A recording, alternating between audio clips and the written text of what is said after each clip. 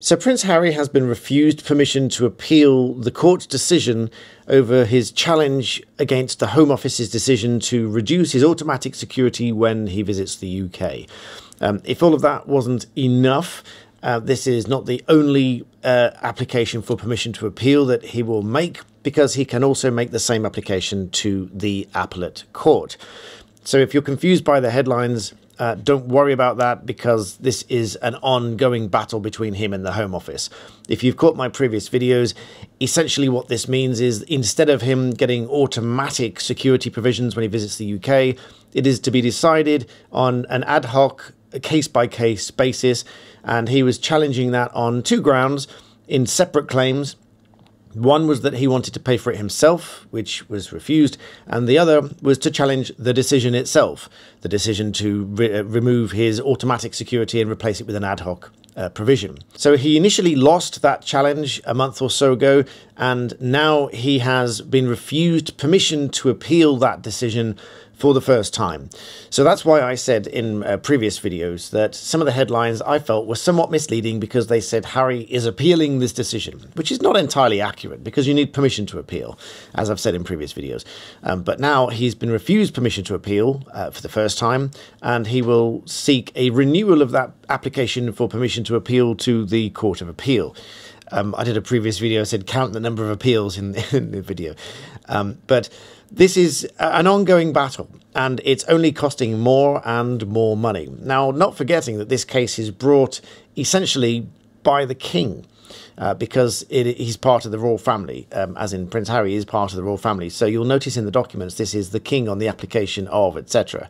And so the costs implications are also very interesting because um, not only is Harry obviously going to have to pay for his own costs, but there's been a small reduction, as the judge put it, a modest yet significant reduction of 10% um, of the cost that he's liable for for the Home Office's costs. Now, I do also take issue with something that I've read on uh, X uh, a little while ago, a few weeks ago, where somebody said that the, or they implied that the um, government legal lawyers are not very good because they're some of the most lowest paid lawyers in the country. I really take issue with that statement because how much you get paid as a lawyer doesn't reflect how good you are or how senior you are. It might just reflect what your fees are set at, what you're willing to do the work for. And notoriously, government work and civil servant type work is not as well paid as big corporate and things like that. So if you wanted to earn big bucks as a lawyer, then working for government legal is probably not the way to go about it. But obviously the people that do that have a real sensibility about them. That's what they want to do. They either love the work or they feel a real sense of doing the work. So I feel that was a really unfair criticism of those lawyers. So I just had to say that in this video. But nonetheless, um, the order for costs has been reduced by 10%. But um, per a Freedom of Information request a few weeks ago, those costs of the government department are in the region of half a million pounds. So, assuming that Harry's are roughly the same, that's going to be roughly a million pounds worth of costs, just the costs themselves. And that's without him going to the next stage of permission to appeal.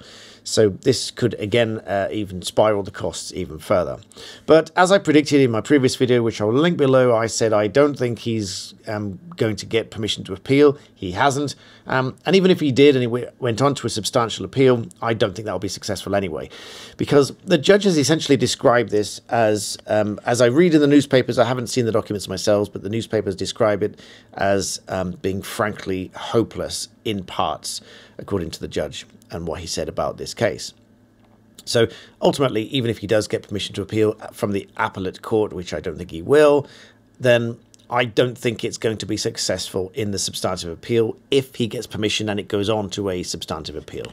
I don't think it'll get that far, and even if it does, I don't think it'll be successful. Now, this is not me in any way intending to skew uh, the court process. Of course, the court is going to do that all by itself, uh, so no worries by anybody about um, my videos here having any effect on the court whatsoever. So I hope you found that an interesting update. Please do subscribe. We are rapidly growing this channel, 120,000 subscribers now. I thank you all so much, and I'll see you in the next one.